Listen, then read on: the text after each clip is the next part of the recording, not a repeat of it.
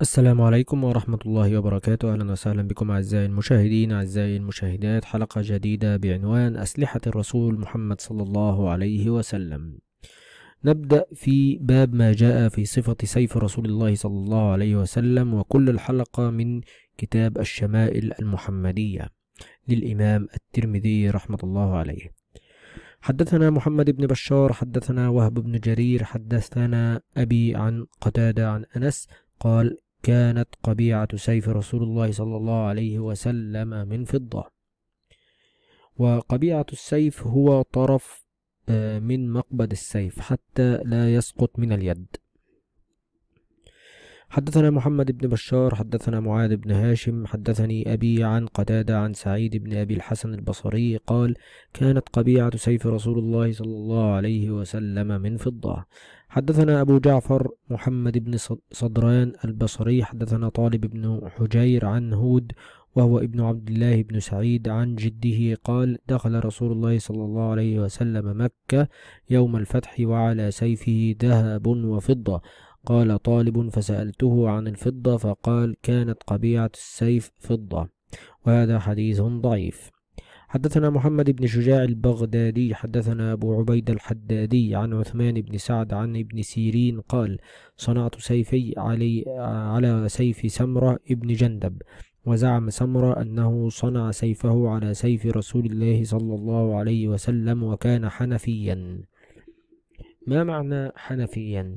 حنفيا هي كانت في هذا الوقت آه، مثل ماركة أو brand هي كانت من صناعة بني حنيفة التي كانت تشتهر بصناعة السيوف هذا الوقت وكان السيف على هيئة هذه الصناعة.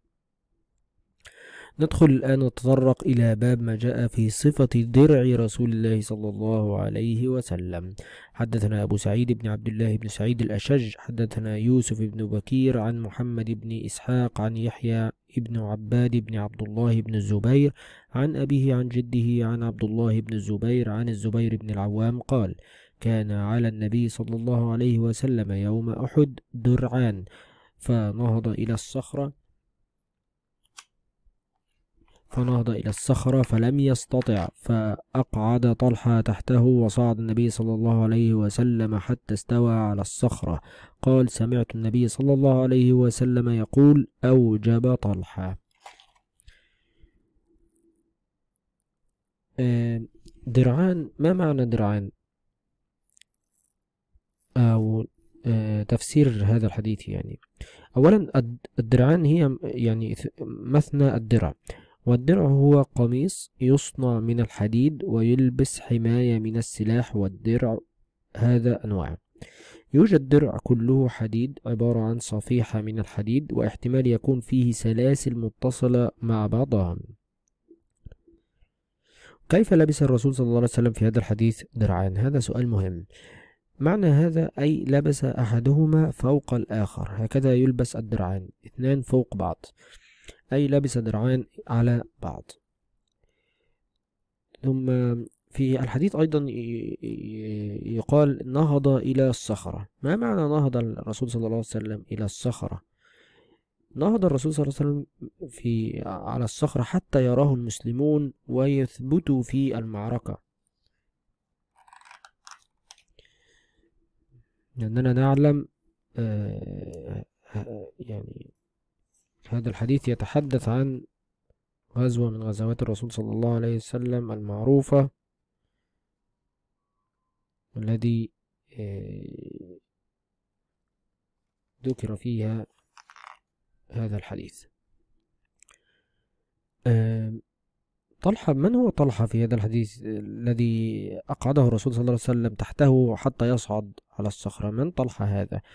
طلحة هو هذا هو طلحة بن عبيد الله وهو كان صحابي معطاء ومن كثرة جروحه في هذه المعركة آه، شلت يده. أحد يده شلت صوبت آه، أصاب يده الشلل. أحد يديه. وقد شهد كل الصحابة أن يوم أحد هذه الغزوة هي غزوة أحد وشهد كل الصحابة أن يوم أحد كان كله لطلحة. وذلك من كثرة دفاعه عن الرسول محمد صلى الله عليه وسلم. حديث آخر حدثنا ابن أبي عمر حدثنا سفيان بن عي ابن عين ابن عين عن يزيد بن خصيفة عن السائب بن يزيد أن رسول الله صلى الله عليه وسلم كان عليه يوم أحد درعان قد ظاهر بينهما. ما معنى ظهر بينهما؟ ظهر بينهما أي لبس إحداهما فوق الآخر. نتطرق الآن إلى باب ما جاء في صفة مغفر رسول الله صلى الله عليه وسلم. حدثنا قتيبة بن سعيد حدثنا مالك بن أنس عن ابن شهاب عن أنس بن مالك أن النبي صلى الله عليه وسلم دخل مكة وعليه مغفر.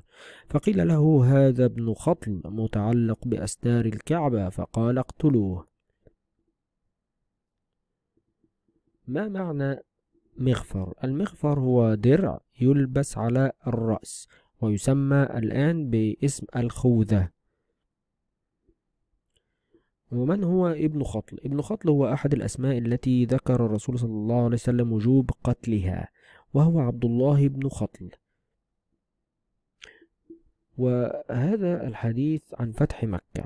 وفي فتح مكة كان هناك عفو عام عن المشركين إلا بعض الأسماء الذين ارتكبوا من الجرائم الكبيرة التي تصنف ضمن الجرائم التي يستحق صاحبها القتل مثل عبد الله بن خطل الذي كان مثل وزير الإعلام في ذلك الوقت في قريش وكان لديه خادم مسلم وقتله.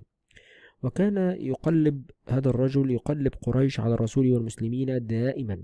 وكان يهجو الشعر ضد رسول الله صلى الله عليه وسلم وكان لديه جاريتين يفنون يفنون بهجاء الرسول والمسلمين.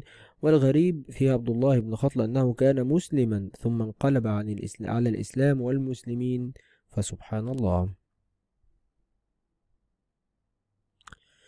حديث آخر حدثنا عيسى بن أحمد حدثنا عبد الله بن وهب حدثني مالك بن أنس عن ابن شهاب عن أنس بن مالك أن رسول الله صلى الله عليه وسلم دخل مكة عام الفتح وعلى رأسه المغفر. قال فلما نزعه جاءه رجل فقال له ابن خطل متعلق بأستار الكعبة فقال اقتلوه قال ابن شهاب وبلغني أن رسول الله صلى الله عليه وسلم لم يكن يومئذ محرما.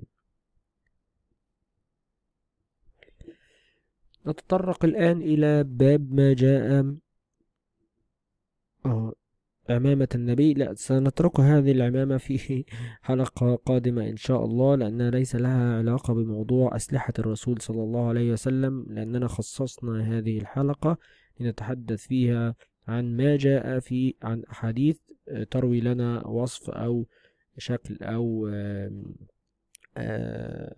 أو تشرح لنا بعض الشيء عن أسلحة الرسول. وكما ذكرت في أول الحلقة أننا استنتجنا هذه المعلومات أو أتينا بهذه المعلومات من كتاب الشمائل المحمدية التي بدأنا حلقاتها في الشهور السابقة للإمام أبي عيسى محمد بن عيسى الترمذي الذي ولد عام 209 هجريا وتوفي رحمة الله عليه سنة 279 هجريا.